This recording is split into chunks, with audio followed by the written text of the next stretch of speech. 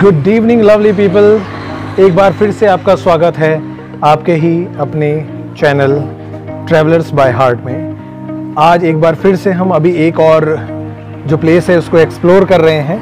आ, उसका नाम है छानी और ये बेसिकली ये भी सेम जैसे डिंडियाली था सेम वैसा ही एक रेस्टोरेंट है।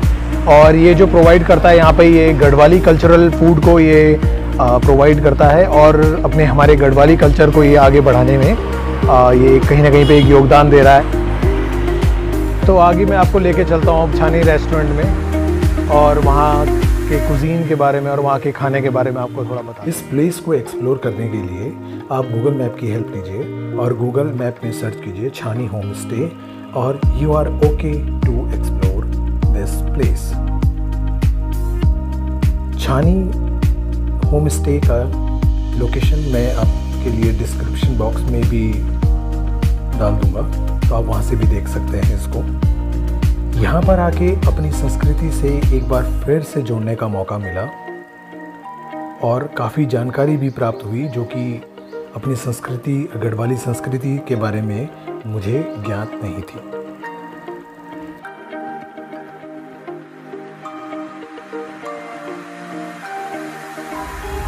तो दोस्तों, आज हम फिर चार लोग हैं जो हम यहाँ पे छानी रेस्टोरेंट के लिए निकले हैं। इसको एक्सप्लोर करने के लिए और यहाँ के हमारे उत्तराखंडी फ़ूड को टेस्ट करने के लिए।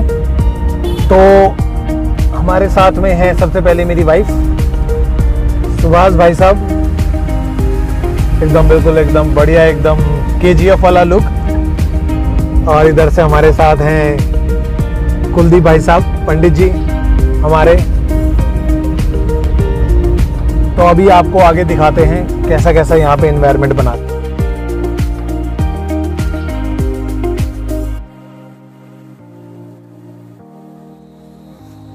तो दोस्तों स्वागत है आपका छानी में।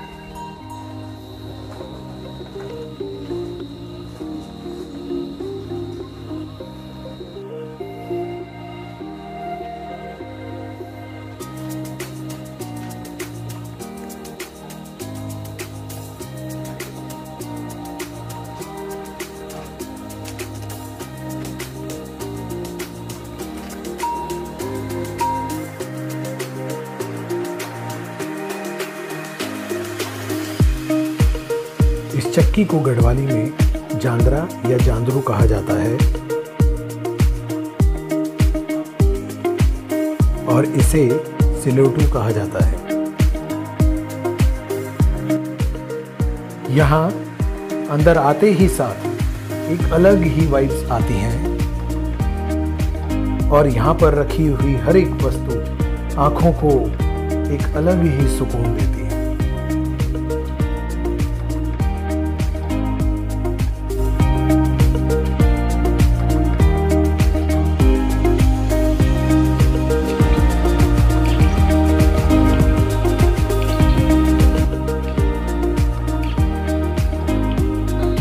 बैम्बू हट दोस्तों आप देख सकते हैं यहाँ पे यहाँ पे इन्होंने बैम्बू हट बना रखी है। और ये कितनी बढ़िया लग रही है देखिए आप।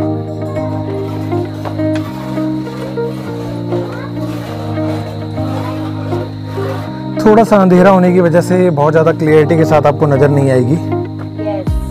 बट बहुत लेकिन बहुत बढ़िया एक मतलब बिल्कुल पुराना वाला लुक जैसे बोलते हैं ना एकदम जैसे जंगल में वैसा लुक। ये बैठने का बना रखा है इन्होंने यहाँ पे।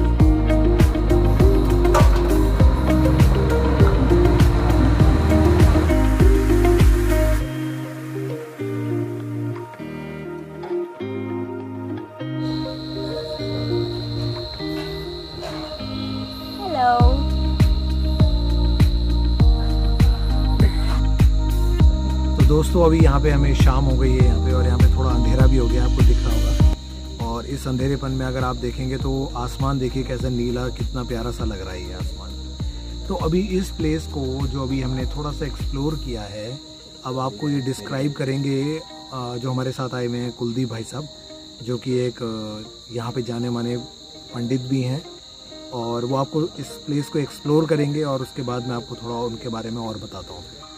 तो आइए मिलते हैं अभी हम राम आज हम यहाँ ओली गाँव के बछेद नामक गाँव में आ रखे हैं। यहाँ पर बहुत अच्छा सुंदर दृश्य है, जिसका नाम यहाँ पे छानी रखा गया है। छानी एक पूर्वजों में पुरानी संस्कृति का नाम है छानी, जिसमें पहले लोग गायों को, भैंस को पालते थे और उसी का नाम छानी रखा जाता था। इसी इसी तरह से इस छानी में भी इस प्रकार के पुराने, हमारे पुराने संस्कृति जुड़े हुए जो भी सामान हैं, वस्तु हैं, यहाँ स्पेशल भड्डू होता था, उस पर ही यहाँ की दालें बनती हैं। एवं भात भी बनता है और भात के साथ में ही अनेक प्रकार की नई नई डिशें यहाँ चलती हैं। जिस प्रकार से छानी नाम का यह रेस्टोरेंट है। इसी प्रकार से यहाँ बहुत पुराने पुराने सामान भी यही प्राप्त होते हैं। तो दोस्तों, मैं अभी जिनके साथ बैठा हुआ हूँ इनका नाम है कुलदीप भट्ट जी। और ये ज्योतिष शास्त्र और पूजा कर्मकांड, इस चीज़ में काफ़ी अच्छा इनका माना जाना नाम है यहाँ पे। और ये काफ़ी अच्छे से इस चीज़ को करते हैं पूरे रीति रिवाज के साथ। तो मैं इनका डिस्क्रिप्शन में इनका फ़ोन नंबर भी डाल दूँगा। और इवन यहाँ तक कि स्क्रीन में भी आपको इनका फ़ोन नंबर पॉपअप हो जाएगा। तो आप इनसे आगे संपर्क कर सकते हैं।